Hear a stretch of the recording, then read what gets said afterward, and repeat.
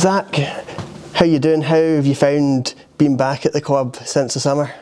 Yeah, it's been good. Um, obviously, it's a new challenge and a clean slate for me. Um, so it's time to work hard and you know get in the team. You scored that last gasp equaliser against Kilmarnock. How important was it getting your first league goal of the season? Yeah, it's obviously massive for a striker uh, to you know kick-start the season uh, by getting the goal. Uh, it was a tough game, down to 10 men quite early and the boys dug in deep and uh, obviously the supporters as well were brilliant with us. You got your first league start of the season against Hibs on Saturday. How did you feel when you found out you were starting?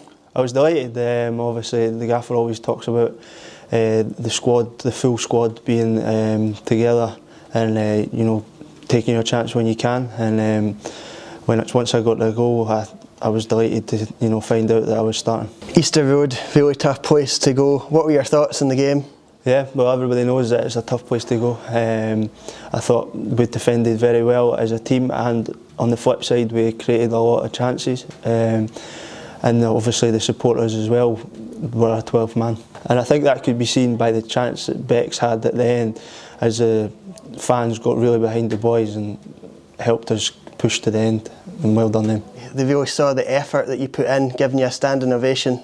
How did yeah, that feel? It was amazing. Um, obviously, I really appreciated it from them. It was meant a lot to me. So, Ross County on Saturday. What are you expecting from County at Dens? They'll be yeah, they'll be well organised, hard to break down, um, and obviously the fans will get right behind us again, and that'll be brilliant.